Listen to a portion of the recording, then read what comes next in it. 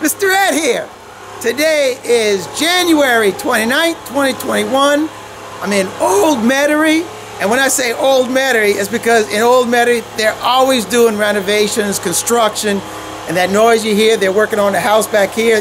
This house right here, they're working on it, so in this one they found bees, and, and they contacted, not me, well, uh, they contacted Mike Barry, who is another beekeeper, and he's coming to do, remove the bees, and he asked me to come help. And you know, if I'm there, look who else is here. Good time, Charlie. That's right. You know, he's like a bad habit. I can't get rid of that guy. So he and I, we're over here today to help Mike remove these bees. And what's what I'm really interested in finding out is the development of the hive at this time of year. Now, I know from you know, people that aren't down here in the south, if you're up north, um, you, you know, you're not even contemplating working on bees. But here, we're, we're fixing a bust open. We, we're, we're, we're already done our, our uh, rotations of our hives. Yet we got that job done. And now we're, we're working in preparation for our splits. So what was interesting yesterday, when I was doing rotations yesterday, I came across for the first time on the on the North Shore, which is from here, it's only 50 miles, but what separates us is this huge lake between the South Shore and the North Shore. And then on the South Shore, not even from here, it's not even two blocks. We have the Mississippi River.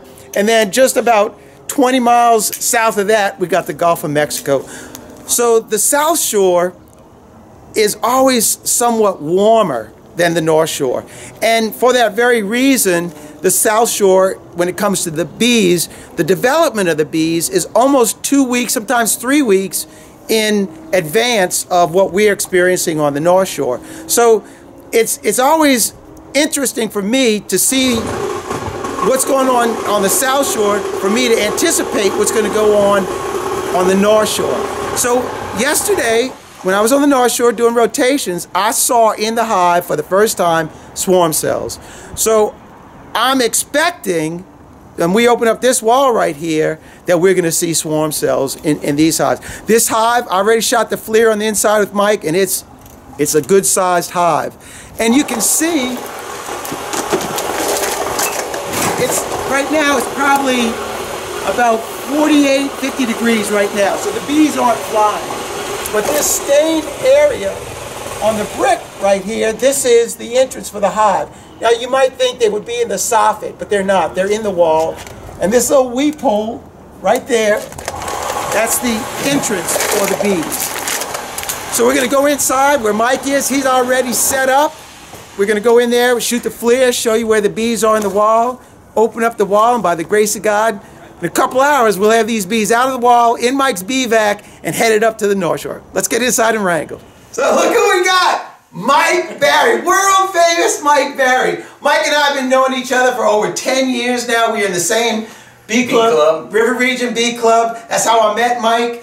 And he was keeping bees like when, when I first started at the bee club, Mike was like years ahead of me. Yeah. he, he knew all about it. And, and I was like asking him all kind of questions. And so today, tell us the story about the um, about this hive right here. How'd you find about it? Well, a common acquaintance of myself and Alex was um, cutting bees out of a house, and she got transferred to go be a management for an aquaponics farm. Uh -huh. So when she got transferred, she couldn't come get the bees. So she asked me if I could help him get the bees out. so of course, I don't do bee cutouts by myself anymore. Well, no, you do one a year. That's and one, one a year. year one and, you, and you wrote me into two. Well, I wrote you into two, but one a year, and I didn't do one last year. So I called my faithful assistant. and that's how we found the bees. Right now, Mike's already opened up. He punched a hole, and I can actually see one bee inside of here right now.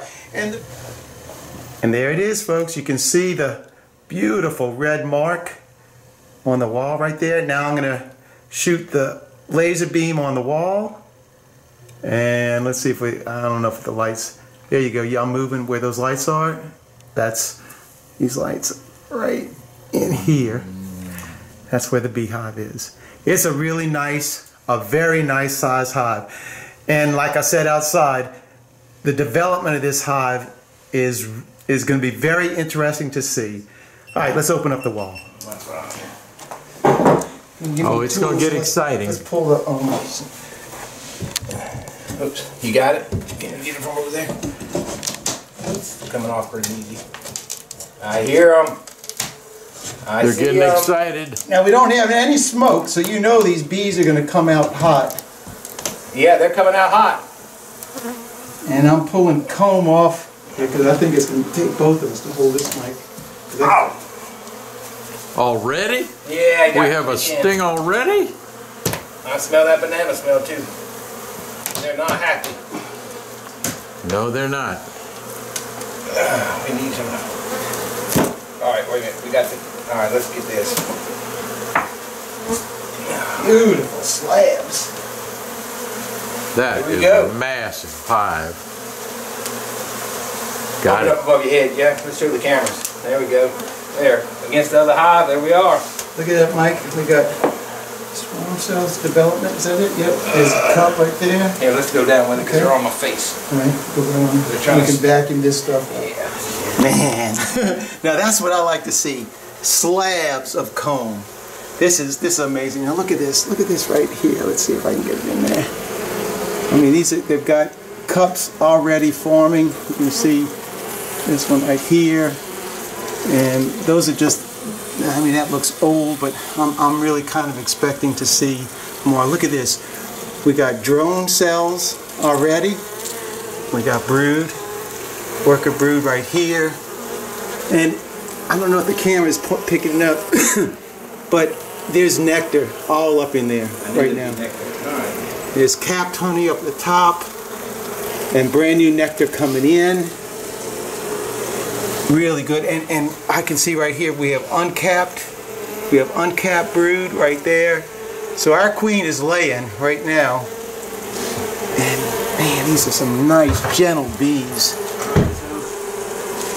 All right, let's go ahead and start vacuuming bees and pulling comb. Now this is a slab that we took off the wall. Got the bees on it, a little bit of comb.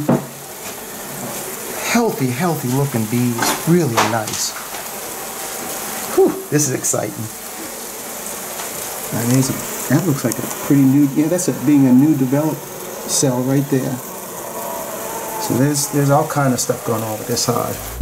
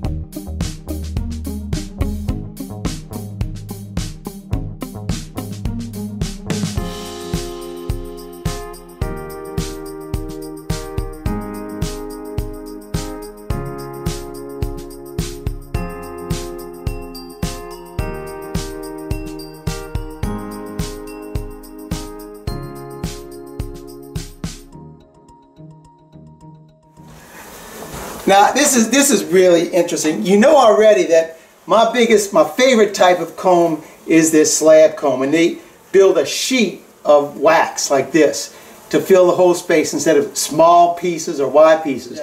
But I want to point out a couple of things on this piece. Let's listen to Jeff. So you can you can see in this area of the comb right here, that glistening, all this brand new nectar, brand new. Now, as I'm cutting through that comb, this old honeycomb up here, it's like thick as molasses. I'm telling you, it's everything I can do to cut through this comb. It's so old, and that that honey is so thick. It's like it's like 120 weight oil. This stuff is so thick. You don't even see it dripping. And it's just hanging there. That's how thick this stuff is. Now, as you move over here, you can see brand new pollen. This is all brand new pollen. In this area right here, we have cap brood in this area right here. And then to the outside of that, then you can see the uncapped brood. And I'm, I'm looking, I want to see if I can see eggs in there. I don't, I didn't see any in mine, but I know they're there. I can't, I really can't see if I, there's got to be eggs in there, I just don't see them. So we're going to go ahead and vacuum a few more of these bees up and we're going to cut out this beautiful slab of comb.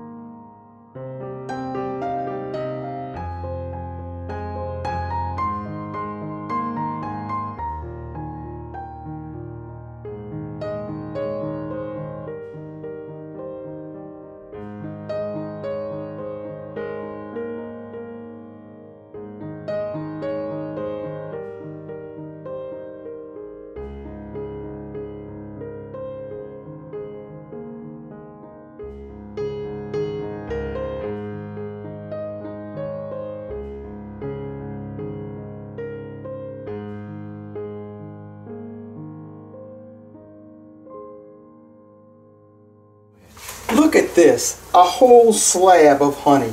I'm going to take this whole sheet out right now and hopefully it'll come out. It's so old I think it's going to come out just in one sheet. We're just going to put this whole slab of honey into one of Mike's totes. Let's do It's this. right behind you. Nolan. All right. Um, and when he comes, it's. Tell you what, we can even put it underneath. Look how thick. Look how thick that is. All right, it's a coming out. We're already up. Here you go, out. Thanks. That's at least two inches thick. Oh my God. That's gonna weigh a hundred pounds. Oh, oh my goodness. Oh my goodness. That's huge. I, wanna get a, I gotta get a video of that. Hold on to it, Jeff. Okay. Look at that sheet of honey. I bet that's 40 pounds of honey. Oh, it's more than 40 That's 40. pounds. Jeff's breathing hard. There's more where that came Where's the rooster when we need him to pump some honey? Yeah. Wow. All right. Woo. Hey, here we go. Pull there. Now that we got it up. Oh, that ain't coming off. Uh-huh. Hold on. Watch your fingers. Oh, that's some tough stuff. It's still going on the other side of the wall. over. Yeah, it's, it's, there we go. Let me get that out of there. Thank you. Thank you for that. I don't want that in there. Wow. There it is. Wow, that's some honey. Let's cut this off. Oh man, that's some tough comb. Good gracious. This hive has been here for Yeah, a while. Yeah, it's an old hive. Well, uh, there we go. Get most of that off. I can melt that out. Now you can pick it up and find out how heavy it really is. Yeah, that's heavy.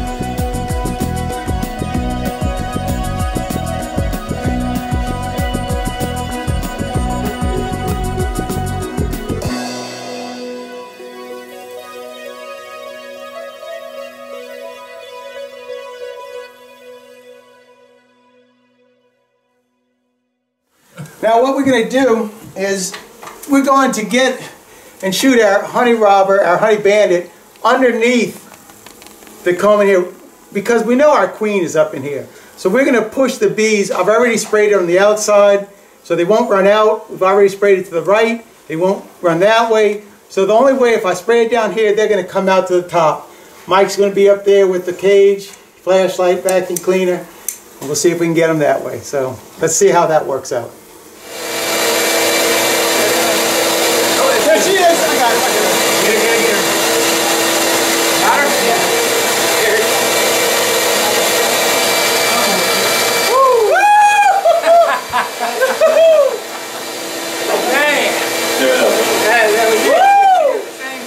Thank you, Jesus. Woo! got her. Woo! Thank you, Jesus. Man, look, we knew that honey robber was going to do the trick, and it sure did.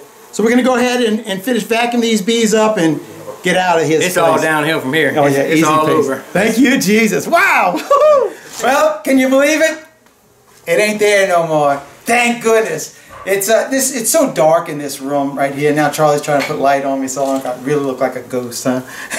so we're gonna get outside and show you some of the, the, the wax, maybe even the bees. But uh, all I know is it ain't there no more, and we got the bees, we got the queen, we got the comb. Let's get outside and wrap this thing up. So here's the bees that we vacuumed up, and can you guess what's inside of here? Yeah, we got our queen going. There really weren't a lot of bees. I- I'm figuring, you know, somewhere eight, 10,000 bees. I know they're not, you can see a little big cluster of them right here, a little big, how you like that? A cluster right here, and they're going across here. And I think Mike only framed up two frames of brood, That's it. That's all we got. and and really, that's just all you really need. This comb is so old and nasty, it's gonna have to put some other comb in there, but that'll be the new beekeepers, that'll be his project. That looks all really good. Yeah. And then let me show you what we got for some of the comb that we took out of there. And it's it, it's it's not pretty. Here's this is all honey. All of this, nothing but honey. Uh, my guess, let me see, let's pick it up and see. Eh, 20, 20 pounds of honey in there. But this is the one that really has the honey in it. This one right here. And it's just gross. it's just gross. So Mike's gonna chop the wax up because it's so hard. He's just gonna chop it up and get that honey to, to flow out of the, the cap, let it drain out, and then he'll render all this wax. That's the real prize with this hive. We save the bees, but Mike's gonna get a bunch of, of wax to um, put on his bee frames, on, on the foundation. Yep. So that's the good part. And then was there uh, another? There's another one under that brood box. That's the one that had some of that good comb. Oh yeah. And then this comb, this box right here. Put it right there on top. I'm gonna have to put it there anyway. You got it. Oops. Good thing Just they trying, rub to, just trying to do away with the queen. This box, it's got just a bunch of comb in it. That there's there's a little bit of wax in here, but um, some of this stuff, and you can see some of the nectar. But I mean, some beautiful slabs. Oh, And wow, the- y'all kept the white comb? Yeah, and this this is this is some really so the new honey right here. Mike says he's gonna eat this. No, that's gone. He's going there. Uh, he ain't eating none of it. I'm- He I'm says. out. So that was all the comb, bees, honey, and everything. All right. Well, I'm, I'm really glad that, that this one's over with. It, it, it wasn't a, the ideal location as far as the lighting goes in there, and it was kind of funky in there. And the bees were funky, and Charlie's funky, Mike's funky. We're all funky now. Every- But the bees are good. All that stuff is good, and, and in the end, I think it's going to turn out all right. What do you think, Mike? Hey, it wasn't ideal, but you know what? It's done. I think they'll be fine. We'll nurture Oh, yeah. We'll nurture them. It, the time of year is perfect for, for the bees to come out of their winter mode into the spring mode. I mean, you saw the nectar in there they're bringing in. So these guys, they want to work, and uh, they're going to work. What about you, Charlie? Come on. Oh, I How many stings you took? One. I How took many- one sting. How One long st- did it take us to do the job? Two hours. Two hours. I think it was No two hours honey. just to remove the honey. Two yeah, hours. The honey was the, the, the honey was yeah. And th- it was it was uh, another epic adventure getting that queen, running the queen out of the comb. You know, I, I do like doing that. And Mike and I saw, her, I mean, at the same time, we saw her run out of there, and I was just had my glove off, so I just reached up and grabbed her. So that's all we got for you this one. Thanks for watching. Keep on watching. He'll be making more. God bless. Mr. Ed, Charlie. Mike. We're out here until next video.